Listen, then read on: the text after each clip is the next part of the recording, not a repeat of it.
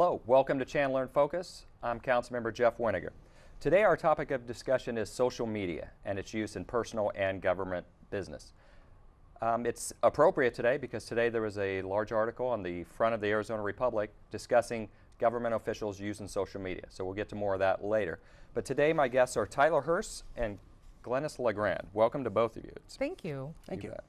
Uh, let's start by uh, virtue of introduction. If you could tell us a little bit about yourself and your background. Glynis? Okay. Hi, I'm Glynis LeGrand, and I own the Urban Tea Loft located here in downtown Chandler, Arizona.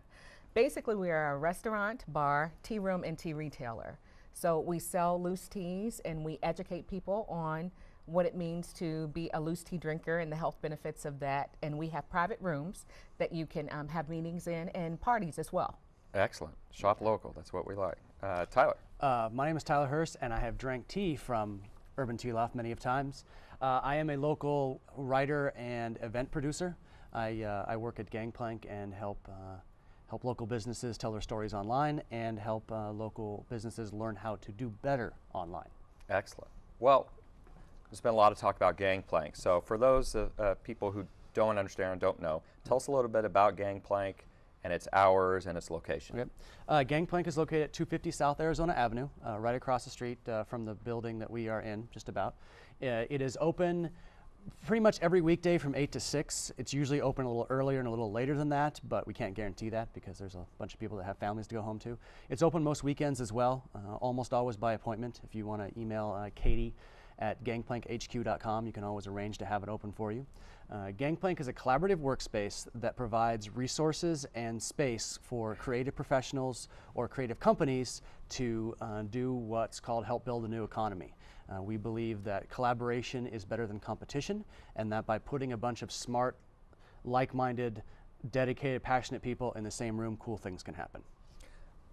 Which uh, cool things do happen there. Yes. But a lot of people sometimes are intimidated thinking that you have to be a techie or something to go in there. But anybody can go in there, just plop your computer down, jump on the internet, and start working. Yes, uh, the only thing, the, really the only thing that's required is you. Uh, it would be very helpful to have a laptop. We do not have computers to loan out, but if you have a laptop, you can come in and, and hop on the very, very fast Wi-Fi, uh, courtesy of, of, uh, of Cox down here. We have some seriously fast Wi-Fi, which is great. Uh, but you know, you don't have to be a techie. Just just last week, or actually a couple days ago, we had a storytellers meetup, which is all about writers.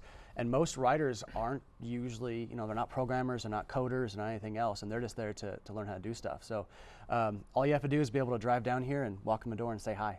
As well as some great kids programs, Lego Yes. League, things like that. So that's great. Well, let's talk about social media. How significant is the use of social media these days, and can you quantify it? Um, actually, I'm going to pass this off to Glynis because as a small business owner, you do an excellent job using social media to both to to talk about uh, your events, to connect with customers. I know that both your New Year's Eve event and your Valentine's Day event um, I saw on Facebook, and that's why I signed up to go to them. Yep. Thank you so much for supporting us, Tyler, and coming down to that. You know, it's very, very significant. Basically, what social media allows a business owner to do is measure customer interest, Right. customer engagement, and even customer satisfaction. Um, you know, we find out so much from our customers just by communicating with them on Facebook and on Twitter. And we're also on LinkedIn. So it gives our customers another way to kind of see us um, as people and to view our business. So, um, you know, I can diffuse a customer situation just by communicating with them and direct messaging them on Twitter. I can um, engage the customer by asking them questions on Facebook. And I can basically um, kind of determine what their, their interest is. For example, we were considering a move to Scottsdale. And so I just posted out there, well, not a move, not a move, another location. Expansion, Potentially okay. An expansion, an- another location in, in Scottsdale. And I just threw that out there and got so much customer interaction back telling me it's okay for a second location, don't move there. Right. Or, you know, Scottsdale already has everything. Why, you know, why go there? We want you here, you Focusing know, to, yeah, focusing 100%. just on, on Chandler. So, you know, it's, it's great to engage your customers that way. But I think the key word you said there is engage, Mm-hmm. because so many businesses and even people, uh, uh, politicians, whatever, they just talk at people. Right. They, they don't engage and allow that conversation. Yeah. Well, it's a, what's a, it's a very cheap broadcasting mechanism for, for that type of thing.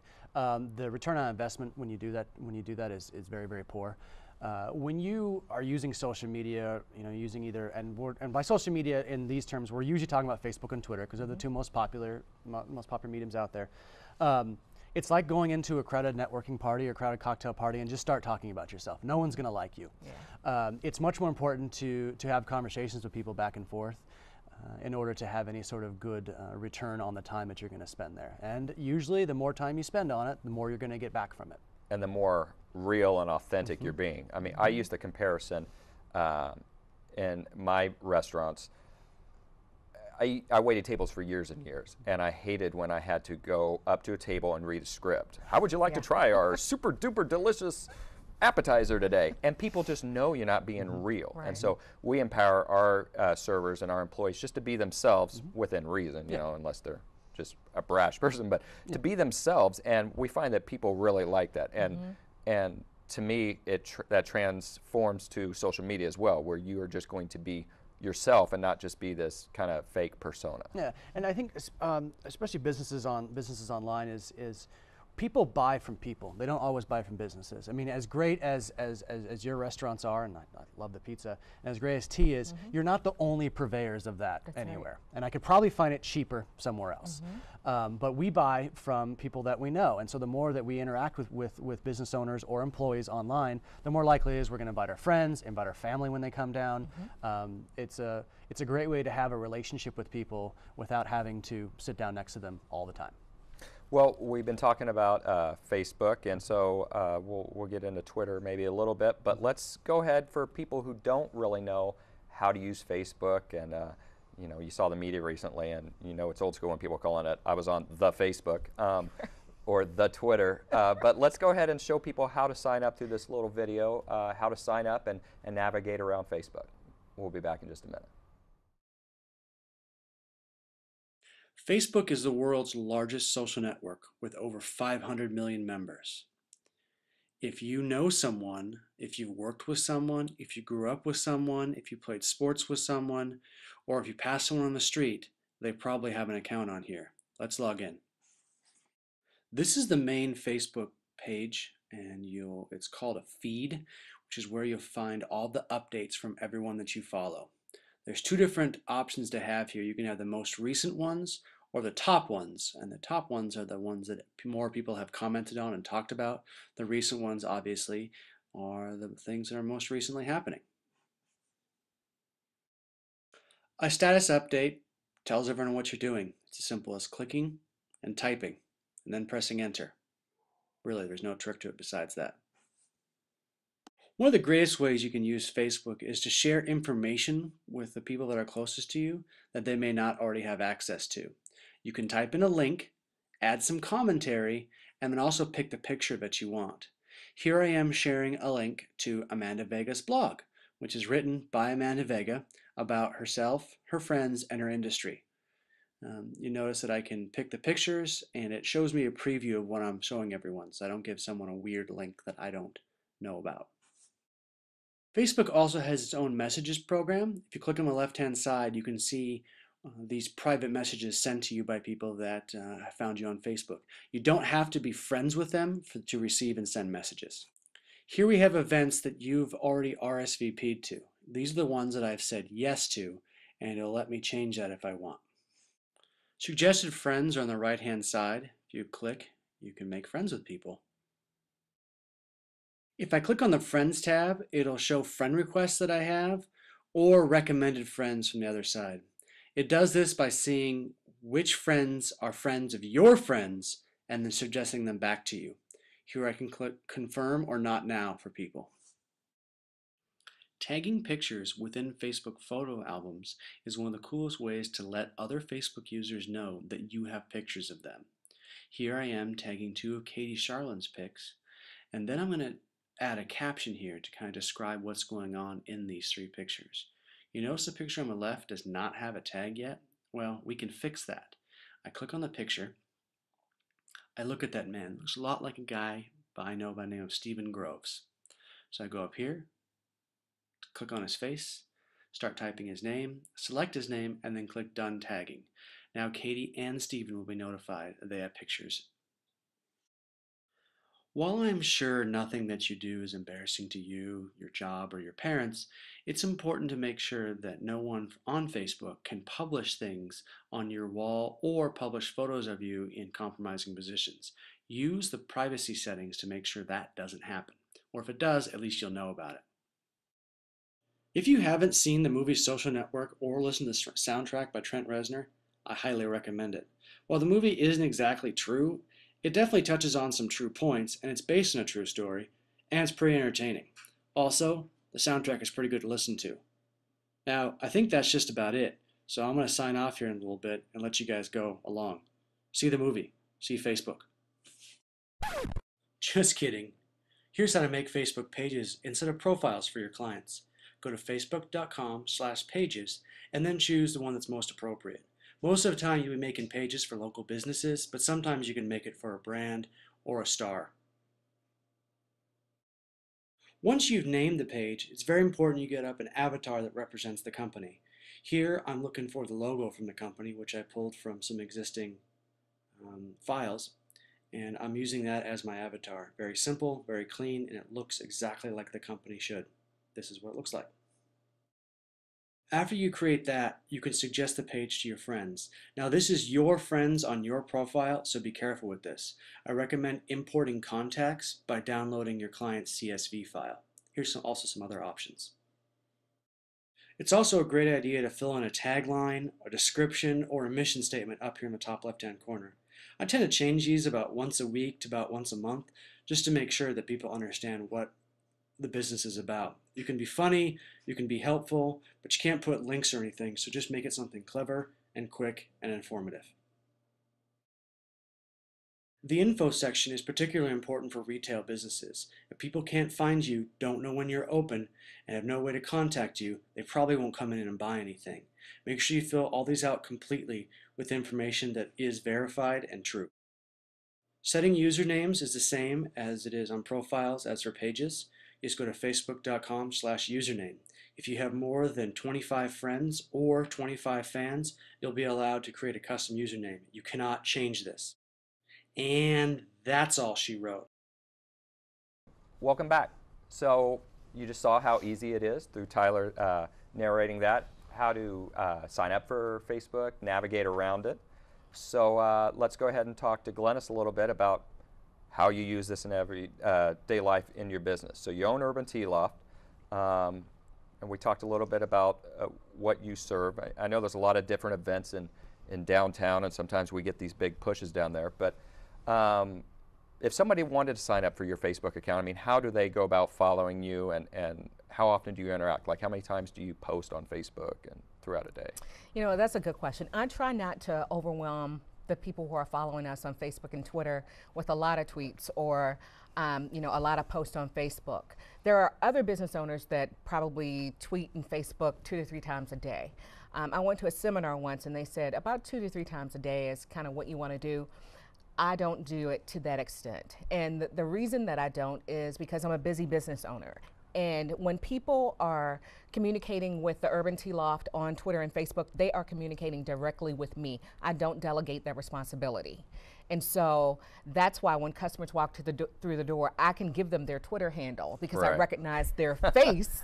and so I'm like, "Oh, you're Great Taylor on on you know on Twitter right. or whatever." So I He's like. He's got a plug. He's got to like that.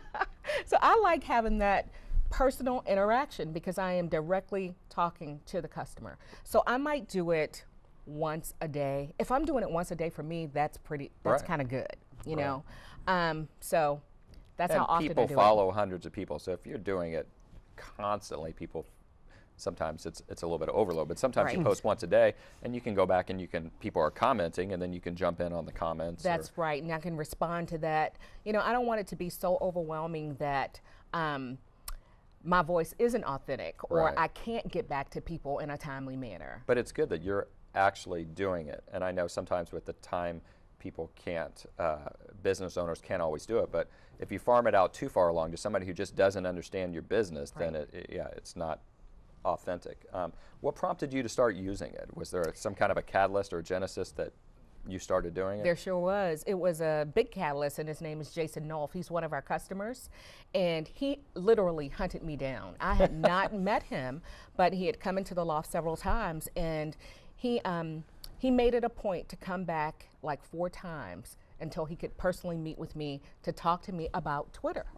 Um, and you know, it was it was so eye opening to me. He spent so much time with me with without knowing us, but he thought our business was important enough to sit down with me, to help me set up an account, to tell me, you know, kind of the ins and out of tweeting and Right. that type of thing. Uh, we had a Facebook page, but we didn't have a Twitter account. And um, you know, I I just totally thank him for that because we by now we would have kind of caught Right. a clue, but um, we didn't have a clue before Jason came in and, and said you need to do this, and these are the reasons you need to do this. You know, and one of the things we realized, Jeff, is that people want to be communicated to in different ways, and that's what social media allows us to do. It allows us to reach people who just want that quick 140 characters or less. Right. It allows us to reach people who want interaction and for you to comment back and forth with them. Um, and it also allows you to reach people. One of the um, forms of social media we use that we haven't talked about is Boomtext. They're a local company. Okay. And you can um, send like real quick text messages to your customers. And so if you're having a special within like the next two hours, that's immediate. It's going to their cell phone. Which is great for slow for for a restaurant owner. That's great Yes. for slower times of the day to That's do that. I mean, if you're busy at noon all the time, but you can say, "Hey, I'm going to push this out to get some business going between two and four. Right. That sounds like an incredible tool. Yes, absolutely. So you use that, you use Twitter, you use Facebook, Yes, we use LinkedIn. LinkedIn. Um, again, Boomtext. We also use um, Groupon. Um, to me, Groupon is a form of social media. Yeah, they have just you know hundreds of thousands of people signed up, and although it's a it's a coupon type Mm-hmm. deal, um, they retweet your coupon deals through forms of social media. They allow you to do that as well, and it just reaches a lot of people without a lot of effort. Right. And that's that's one of the things for business owners who aren't you know on Twitter or using any type of form forms of social media. It's free and it's quick and you don't have to devote your life you know to doing it Right. Yeah. Excellent. Well, what kind of have you gotten feedback from different customers? I'm assuming everybody's really likes that you've done this, and have you seen uh, an increase in sales? Or I mean, everybody talks about the ROI, but Mm-hmm. there's not a lot of return on investment. You've got to realize that you're communicating with the customers. You can't always measure that, but that's right y- you're you're confident it's been really effective for you. it's been really effective for us in terms of relationship building um, and you know that's one of the things that social media really allows you to do. As a business owner as, as tyler said people are buying from people that they know and that they have relationships with. And so you can truly although it's technology build relationships with your customers. Um, in terms of roi that's been a big um, return on investment for me. Now our sales have gone up but they've gone up because of Groupon. They've gone up because of word of mouth You're and taking that a type of thing. shotgun approach. You're not just taking just just doing one thing. Yeah, You, you have a, a bunch of different things in the works that is Absolutely, your it's nothing is one and done. Right. You know, you you've got to communicate to your customers in the form and method that they want to be communicated to, and that's what social media allows you to do. Excellent, excellent. Well, Tyler, nowadays you see people downloading applications on their on their phones, their Yep. iPhone or their Droid. Uh, so, how easy is it to use social media on the go? Uh, if you can text, which I would assume most people can, can SMS or text, um, I, I just taught my parents about a year ago, and they are excited about it. They don't use it quite as much as, as I do, but the uh, with iPhones, Android, uh, Windows 7, any, phone, any any smartphone that you have, even BlackBerry, um, it's just as if you can use a computer, you can use a mobile app. Most of the time, the mobile apps in your phone are going to be much simpler because they're designed to use with one finger, uh, designed to use very very quickly. But just about every, I mean, I have a Twitter app, I have a Facebook app. Uh, we didn't talk about location-based services apps like GoWalla, Foursquare, or Facebook Places, which allow you to check in to different places, which are what I always do when I go uh, when I go to your place. Um, those are very, very quickly quickly used, and most of them are free. Uh, I don't think I've ever had to pay. I don't think I've ever had a social media app that's cost any money, and if it did, it was 99 cents. So they um, they're they're much much more simplified. Not they're not basic versions of the app. They're just easier and quicker to use. Um, and they uh, and they allow you to do quite a bit more because a lot of people don't have time to sit down at a computer and and tweet and use and go on Facebook and all that stuff. Uh, with your phone, you can take 45 seconds and do almost as much as you could anywhere else. Right. When Or take a picture of when you're sitting in, when you're sitting in a waiting room, when you're doing when you're doing anything else. Yeah, you can kind of track track different things. So. yeah. Well, we're going to talk about what advice you have for businesses uh, who are on social media. But right now, we're going to cut to another video. Last night, Gary Vaynerchuk was in town. Gary's kind of a, an expert on social media. He has a, a, a book a couple years ago called Crush It, which was a bestseller. He has a new book called The Thank You Economy uh, on social media, which is already number two uh, on the New York Times bestseller list. So Tyler interviewed him. Let's hear a little bit about what he had to say about social media.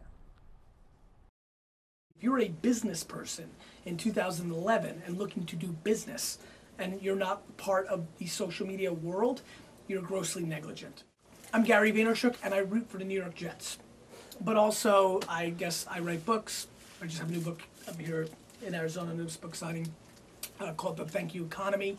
Um, I do a daily wine show called Daily Grape. That's weird to say because I've been doing one for five years called Wine Library TV, but I just innovated and created something new called Daily Grape that's very mobile friendly. Download it, iPhone users, Android coming, sorry, BlackBerry, I'll get to you. Um, and I also uh, own a wine company called The Wine Library, winelibrary.com, and a social media consulting agency called VaynerMedia with my brother AJ. We do social media strategy and community management for companies like Campbell's and PepsiCo and Green Mountain Coffee and a lot of other large brands. Average Joe, I highly recommend you continue to put your head in the sand like an ostrich and, and be that guy that in 1999 st- said the internet was a fad and, and to be that guy that didn't want to believe that Henry Ford created a machine that was better than the horse. You continue to put your head in the sand and not think the world's evolving. If you're average Joe and you're living your life, I have no issues whatsoever with you not using social media. This is how we can win. I'm a small business. I built my family's liquor store business from a $3 million business to a $60 million business on innovation and customer service. That is what social media is. It's innovation. It's changing the way people consume. You know, people are not reading your bus stop ad, you know, or your billboard ad anymore. They're looking down at their phone. If you're not building mobile apps, you're not thinking about it. At least, at lowest common denominator, please use search.twitter.com and search for terms in your general area. And you would do that if you're a pizza shop by typing in pizza space near N E A R colon your zip code. It's happening. It's happening, and you need to do it right now. All right. Well, that was a uh, great video. That was uh, helpful. So, Tyler, what advice do you have for businesses who are considering using social media? What are the pros and the cons? do everything Gary Vee just said. Um, the the greatest thing about about businesses using social media is it makes them more social. Okay, no, sorry, it doesn't make. It allows them to show off how social they are. Many businesses you see, and this is unfortunate for, and this has happened in downtown Chandler, not to your place, but it's happened a couple other times, uh, where you will go in, you will talk to a hostess or, or a waitress or, or a host or a waiter, and they will kind of blow you off for whatever reason. They're busy or whatnot. Um, social media will not make that better. Social media actually will make that worse. What, what social media does a very good job of is magnifying who you are and who you and, and what your business does. Um, so pros, if you if you have a great product and your and your and your employees generally like what they do and they like their customers, you're going to go very very far. However, cons, if you have a product that isn't that great. If you have employees that are treated poorly or don't like what they're doing, um, that's going to come back to bite you. Uh, hopefully, that'll hopefully that'll that'll force the manager or the or the owner of the business to to make a better product. And I think that's one of the absolute best things. It's a weird, it's a con at first, but it could be a pro. Is you can find out based on customer reactions and whatnot exactly what is wrong with your business without having to wait six months before everyone's gone. It's an instant, instant customer uh, Yeah, card. you can uh, you can use uh, on Twitter. You can use location-based based searches uh, to find out exactly what people are saying about your business or, or or your industry um, around your area. It's kind of it's very very cool. I think um, uh, Gary Vee talked about that in the video, or if not, he talked about afterwards Right. with us about doing that. And that's a great way of, of, of checking different things. Uh, now, if you're not if you're not solely a, um, a food provider, if you're more of a retail store, or if you're or if you're like a, a bigger company like Intel. Um, you can really uh, put a put a, a, a personable face on companies because I know a lot of bigger companies that you know who do you talk to at a big company you don't know there's they're just a Right. brand you have no idea um, it can enable you to have some better relationships with, uh, with some of the people that are working there. Absolutely. Well, for both of you, uh, we're winding the show down a little bit. What what about for individual users? Do you have recommendations for people, I guess, who are consuming content as well as putting some things out there about their lives? Uh, I'll, I am a uh, probably the worst example ever for this because I post everything. You don't have much of an edit button in your No, well, I, I do have an edit button, which is even scarier. Um, it just depends on, on, on what your personality is. I am an extrovert. I talk a lot. That's just who I am, and you can tell by my Twitter stream that that's what it is. But if you looked at, at my Twitter and Facebook stream, 70%, and I've, you can track this with different tools, 70% of what I say is replies to people. So most of the time, I'm really using it as a big chat room, which annoys some people, but that's just how I use it, and I, I like it. Um, enables me for uh, for for work type stuff. You can work out problems. You can get uh, questions answered very very quickly. Hey, I need to know where blank is, or I need to know how to do this. You can usually find an answer for that. Um, you can also, uh, when I travel, I have built-in friends. I say, hey, I'm in New York. Who wants to hang out? And the you know the, the 10 people that I've conversed with on Twitter, Right. all of a sudden I have someone to go out to coffee with, which is really really fantastic. Very cool. Um, it, the bad stuff, obviously, you can share, share your opinion and get hammered for it, uh, which is you know pretty much your own fault. But that's but that's a it's a cool way to get stuff out there. Um, we're also uh, writing a, a blog about uh, about planning a wedding, which I've never seen before from start to finish of, of, of planning a wedding. So that should be very very interesting to That is Very check really out in a cool. couple months. So Just listen to what she says. That's the main advice I'll give you. Gladys, how about you? I mean, do you consume uh, content on Facebook? I mean, as a user as well? Yes, I do. I have a personal Facebook account. I have a personal LinkedIn account, and I have a personal Twitter account as well. I don't use that one quite as much, Right. you know, just due to due to time you constraints. have a personal. I but oh yeah, I have a I have a personal Twitter account. we're not really friends. but I don't use it as much. Um, but I will start to because you know obviously I have a, a voice as a Right. you know as a non-business owner as well. And sometimes as a citizen, you know, different things you want to comment, not necessarily as your business, That's but right. personally as, as this person over That's here. right. Oh, I have to be careful though because a lot of people see me as my business. I understand know what I exactly what, you're saying. So maybe I can post a picture of Snoopy or something and communicate that way. Okay. Well, let me mention also that the City of Chandler is actively using Facebook and Twitter to communicate with our residents. We post events uh, and information as well as links to some of our shows. Uh, for anyone interested, the Facebook account is Chandler, Arizona, and Twitter is at City of Chandler. You can also follow my comments on Facebook and Twitter. Uh, just look up Jeff Weninger. I think we're going to show those links at the end of the show. Well, we just have just like one minute remaining, so anything else you would just like to kind of get out there before we sign off?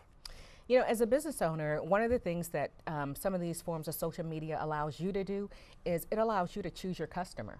Like Tyler was talking about Twitter searches that you can do. Correct. Um, basically, I go on and I look at people who are talking about tea in Arizona or tea in Chandler or restaurants in Chandler. Amazing. And so I know they have an interest Right. there. And so I will start to follow them to see kind of what com- what types of comments they've made Right. about, you know, the product and um, the, the product and the services that I offer. And so that's that's a major plus for business owners. That's excellent. That's what Gary Vee did to build up his wine uh, library. Uh, my advice for using social media for anyone, for business or individuals, is uh, remember that social media, Facebook, Twitter, LinkedIn, are just tools to build relationships. A lot of people in Arizona have done a fantastic job of that. Of they do the small talk online and they meet at night or they meet on weekends. Um, when, you, when, when I say Twitter friends, I really mean my real life friends. And uh, I urge people to uh, don't always sit at your computer. You know, make sure and get out and meet those people that you talk to because you can find some really good friends that way. I mean, the three of us would not have met except for That's um, true. That's absolutely right. except for Twitter or a- and or Facebook. So it's kind of a cool way to, to, to do that. Well, it was a pleasure having you both on the you. show. Thank you I for really appreciate us. You bet. I think this is uh, changing the way we kind of do these shows and, in Chandler stuff and bringing on some new topics. Uh, thank you for everyone watching uh, Chandler in Focus. Check out this article today in the paper. I guess you'll have to archive it. I'll put a link up uh, on my Twitter and Facebook feed uh, talking about elected officials and how maybe we shouldn't be using this as much. But I will keep communicating until a court order tells me not to. so uh, I don't think communicating with constituents is anything bad. So thank you for joining us. In the meantime, stay safe and stay involved.